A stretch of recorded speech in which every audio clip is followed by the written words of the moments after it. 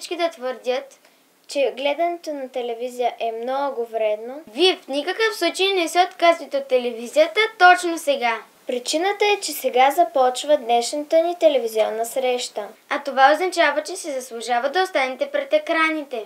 И първото, което ще направим за вас, е да повишим настроението ви с хубави народни песни и танци.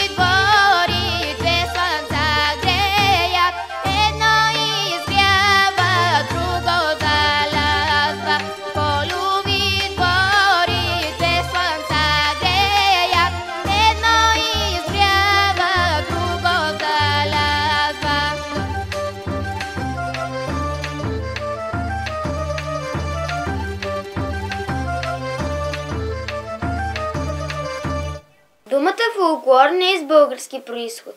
Въпреки това, всички знаем какво означава фолклор. Фолклор означава народна мъдрост. Да почерпим още от нея.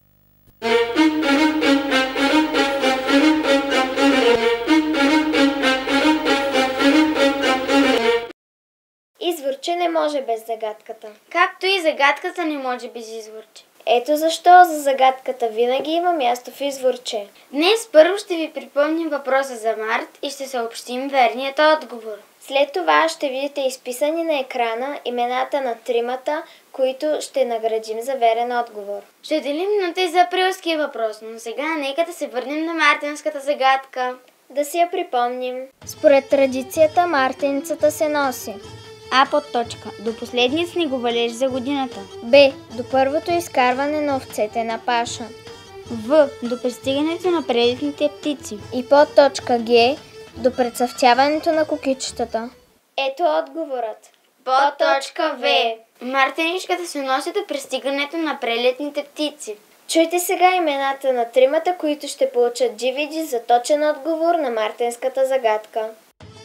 DVD за верен отговор на загадката от месец март 2019 година ще получат Пени Денев, град Русе. Теодор Николов, град Свищов. Александра Божилова, град София. Честито на тези, които спечелиха награда. Наградата е DVD диск с народна музика. Сега е време за новата загадка. Задачата е логическа и много лесна. Гледайте! Кой часовник показва най-често точно време? Този, който застава с една минута на денонощие. Този, който застава с един час в денонощието. Или този, който е спрял. Кой от изброените три часовника най-често показва точно време? Оставяме ви координатите за връзка с нас. Адресът на изборче е град Велико Търново, почтенска котия 27 за детско фолклорно предаване Изворче. Телефонният номер е 062 62 34 64. Имейлът на предаването е изборчетокломба.abv.bg Надяваме се, че успяете да си запишете всичко. Сега продължаваме с още фолклорни изпълнения. Предстои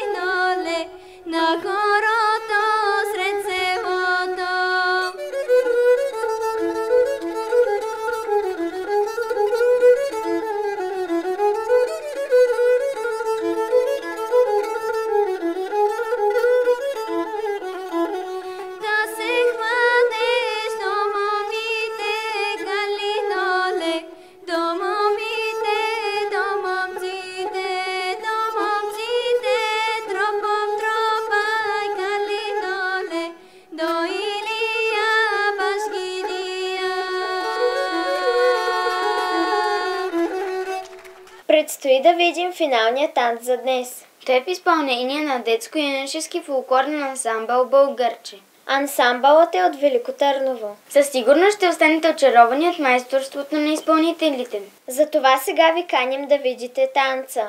А от нас... Довиждане! До следващия път!